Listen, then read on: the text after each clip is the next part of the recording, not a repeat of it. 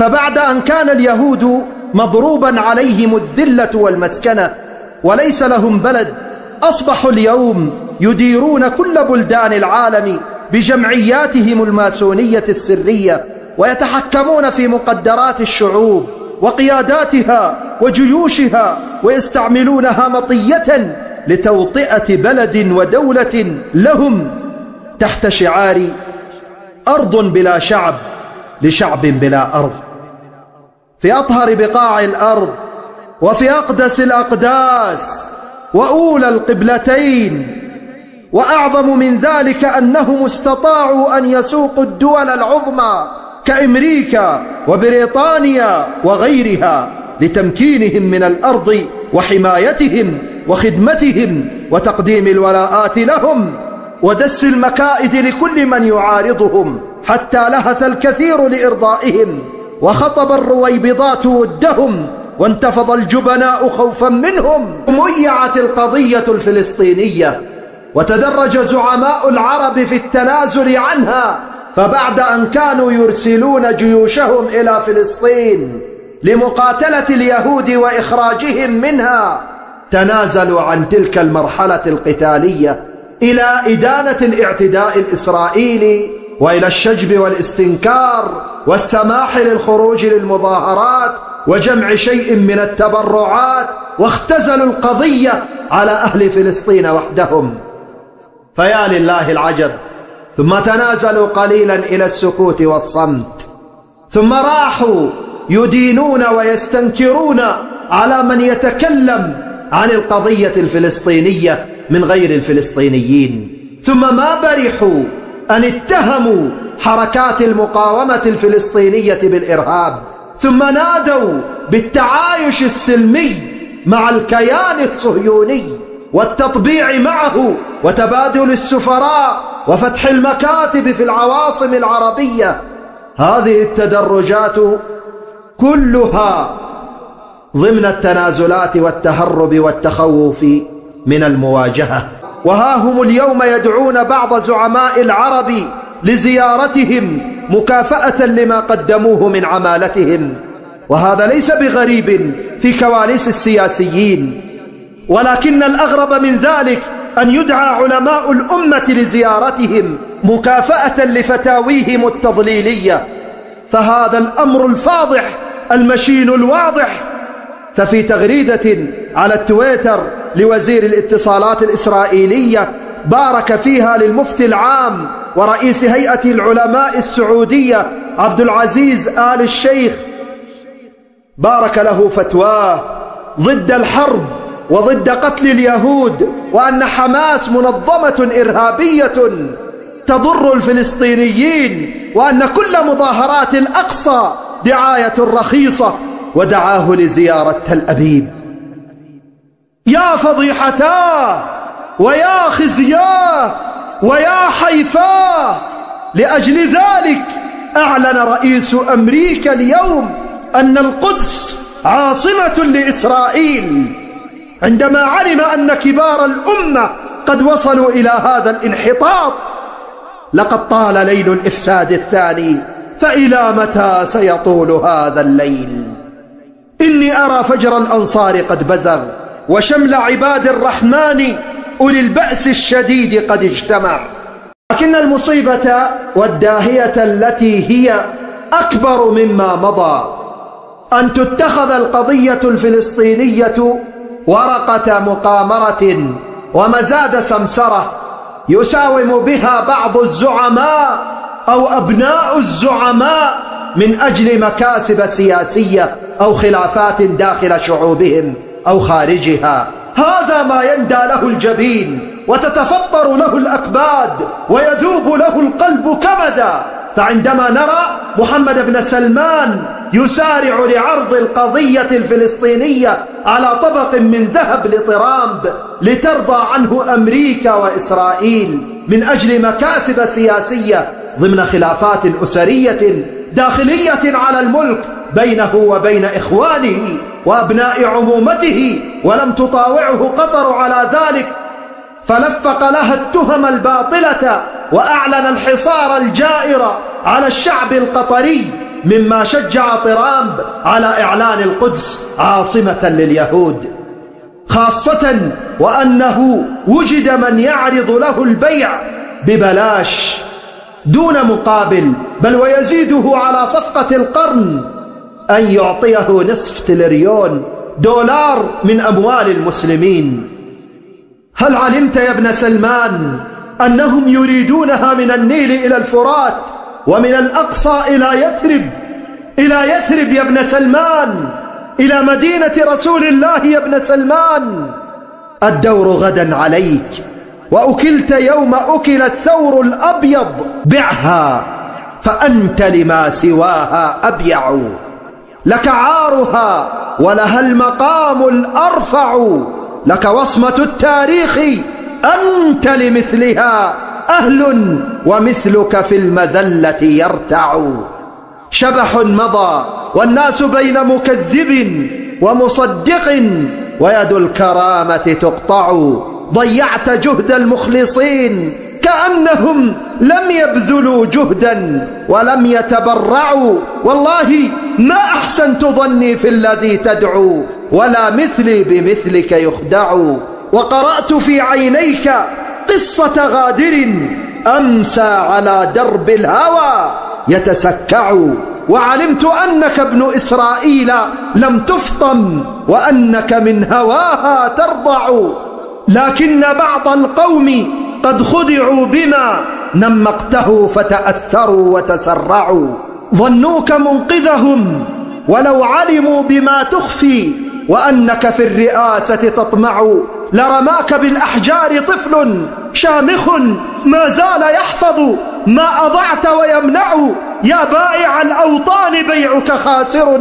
بيع السفيه لمثله لا يشرع.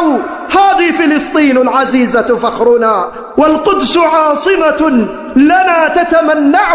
هذه فلسطين العزيزة لم تزل. في قلب كل مسلم تتربع.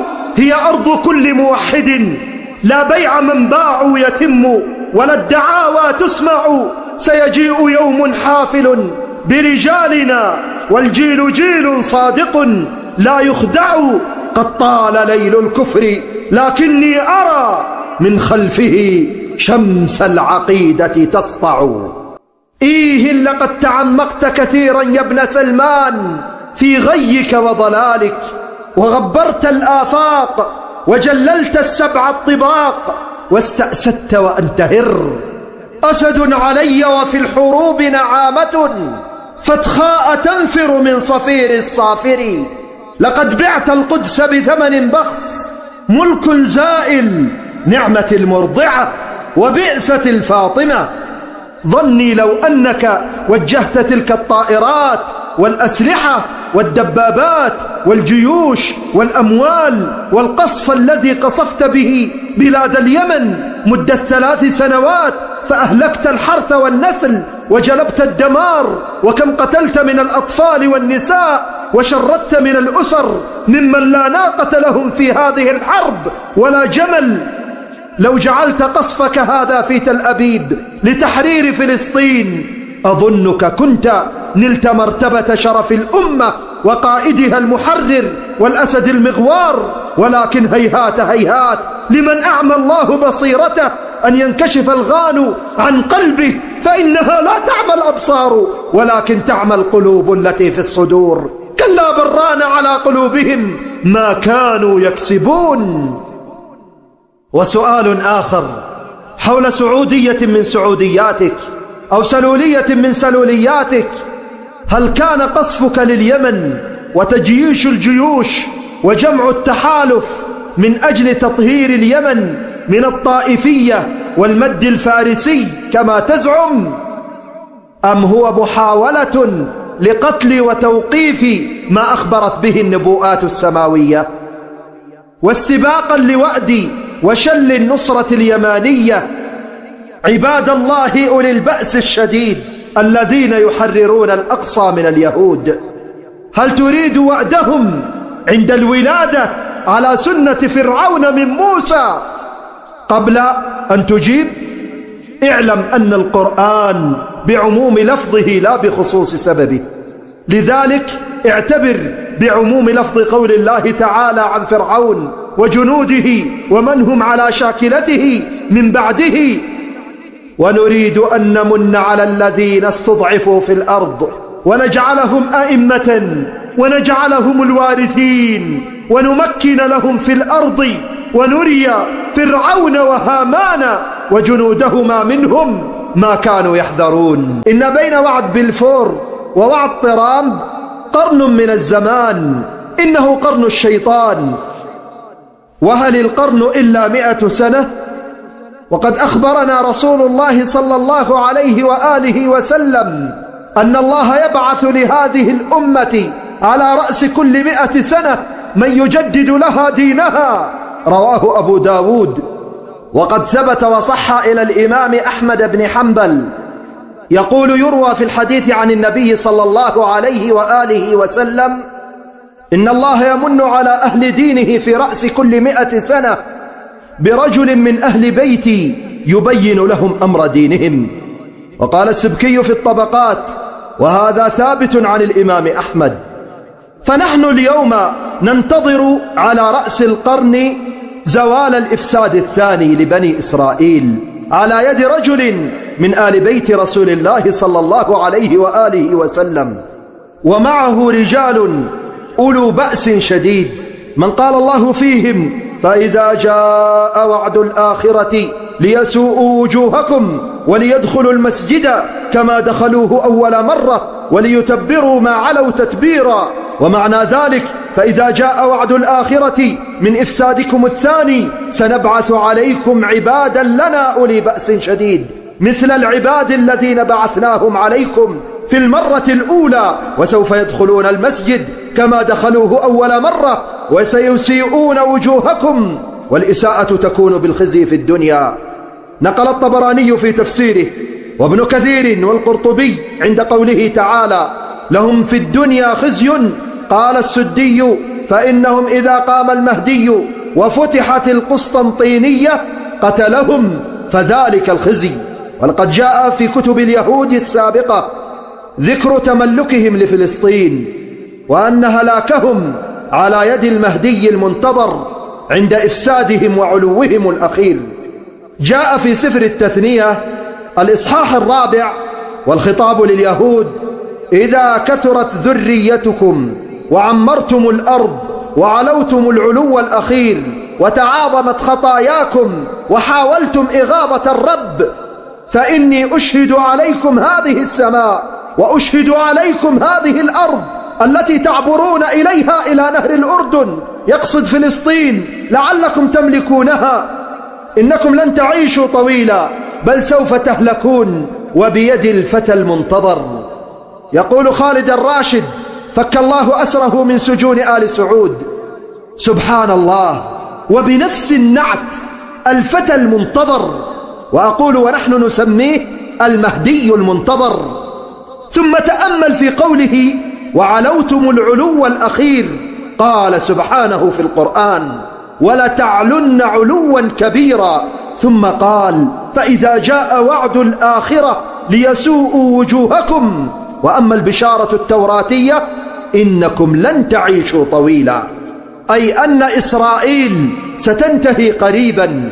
إن زوال الإفساد الثاني لبني إسرائيل قريبا سيكون على يد المجدد القادم الإمام المهدي عليه السلام الذي سيهلكهم عند نهر الأردن. وما أشبه هذا النص بحديث رسول الله صلى الله عليه وآله وسلم. لتقاتلن المشركين حتى يقاتل بقيتكم الدجال على نهر الأردن. أنتم شرقيه وهم غربيه. رواه الطبراني والبزار.